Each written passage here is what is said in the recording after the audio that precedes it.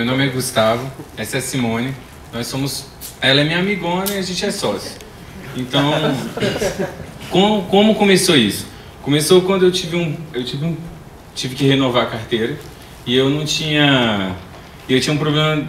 É, eu não conseguia enxergar de longe, eu continuo enxergando, continuo usando óculos e então eu continuo sem carro. Assim, for caminhando, então eu fiquei muito tempo sem carro e muito tempo andando, andando de ônibus e andando a pé. Então isso surgiu uma coisa muito da gente, assim, como a gente deixa as, como é que a gente deixa as coisas mais bonitas. A gente parte de um princípio que é um valor muito, muito grande, foi por isso que a Simone a gente ficou sócio. E a gente parte do princípio que são três coisas que ninguém permanece iguais, que é amor, que é a beleza e que é a verdade. Isso assim, pode ser uma parada, ah, vocês são fanáticos, não sei o quê. Pode ser, meio hippie, doidão, vai vender incenso, ótimo. Mas é isso que a gente acredita mesmo e, e não tem jeito. Se você vê alguma coisa muito bonita, você vê alguém muito amoroso, e se você vê alguém realmente falando a verdade disso, você não passa ileso. Você vai se ferrar. Não tem jeito. Você, aquilo ele vai te causar alguma coisa e ninguém vai poder. E só você e aquela coisa que te causou isso vão saber. Você pode até mentir, mas que isso aconteceu, aconteceu. Então, o que, que, que, que a gente acredita?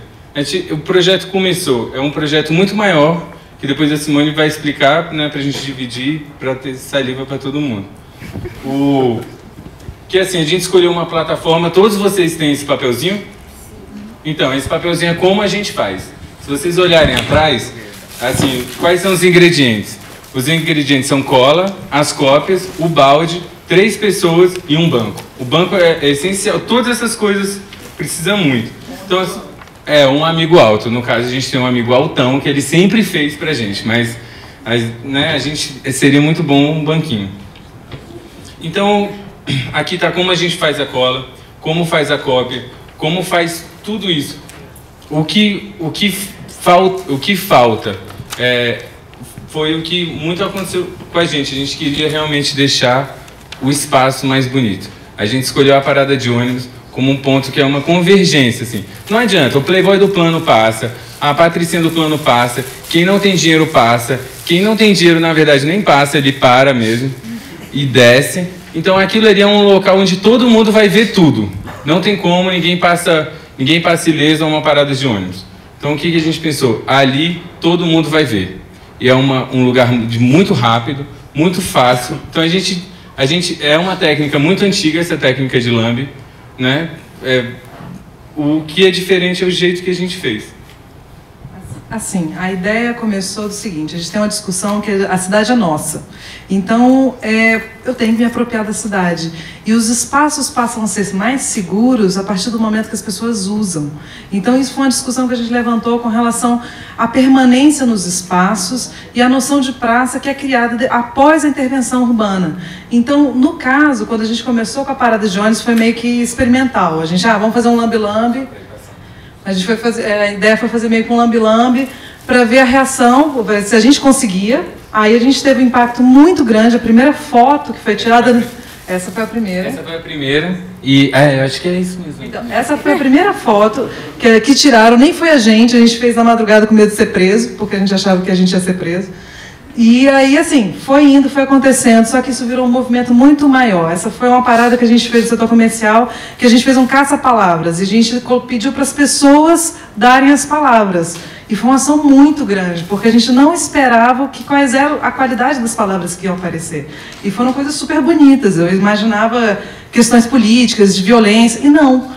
Quando uma ação, aí foi outra coisa que a gente percebeu, quando as ações elas são despropositadas, sem nenhum engajamento para aparecer marca ou campanha ou criar algum foco, elas, têm, elas foram recebidas mais positivamente. O reflexo das pessoas, o impacto que causou depois foi muito maior. Então a gente, a gente conseguiu fazer uma passagem, uma passagem subterrânea. Então isso foi, isso foi muito fera, porque assim, eu não imaginava que a gente ia chegar a quase 100 pessoas do nada do nada juntar, ah, vamos fazer uma mobilização. Isso foi, um, é, isso foi um impacto muito grande, porque a gente, é isso, a cidade é nossa, a gente tem que se apropriar da cidade, usar o espaço como uma benfeitoria, já que é meu, é minha casa.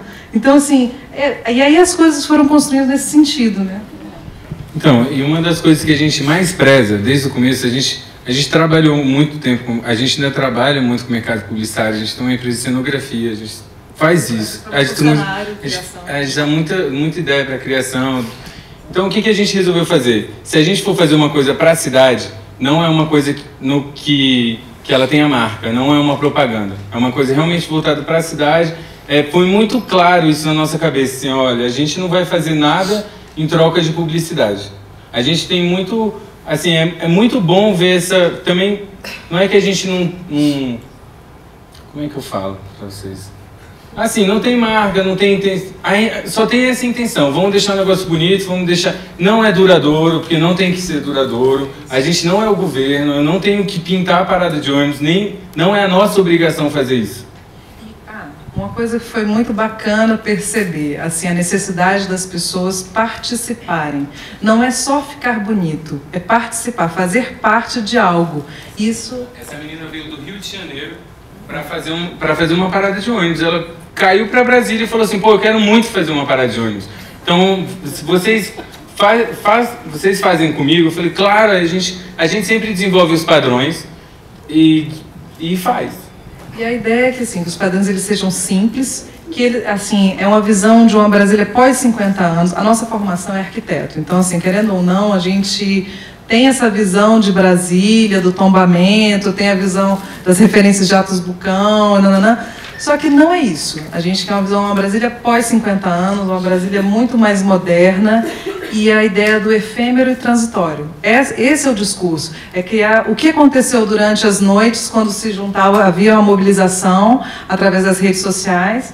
E o que aconteceu? Viraram praças transitórias. Uma coisa que eu nunca imaginei como arquiteta e experimentar que fosse uma, uma praça, um ponto de encontro efêmero eu nunca imaginei que isso acontecesse. A gente vê isso em show, a gente vê isso em festas, mas e sempre com, com entretenimento, mas não por uma ação de mobilização cultural. Então isso foi um resultado muito bom e está acontecendo e respostas estão vindo e, e as pessoas estão planejando, as pessoas estão outros grupos se juntaram, pediram apoio para fazerem ações gratuitas. Simplesmente dessa forma.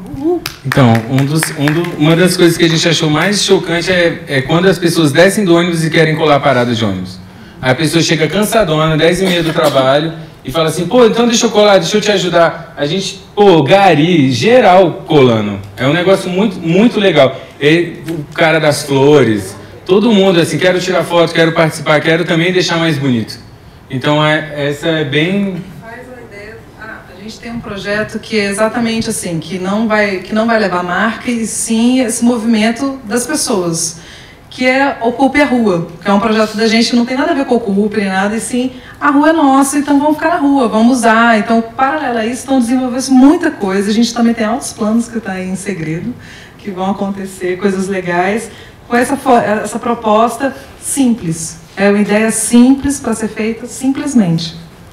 É, e a gente queria deixar isso muito para vocês que simples não é simplório. Simples é o mais difícil para você chegar no resultado. Então, assim, quando você batalhou, batalhou, batalhou e não está simples, você pode tentar de novo, porque uma hora vai ter que ficar simples. E, e é um projeto que a gente ralou muito, a gente desenvolveu muito essa, essa plataforma. Bom, ó, tá me dando meu tempo aqui. Valeu.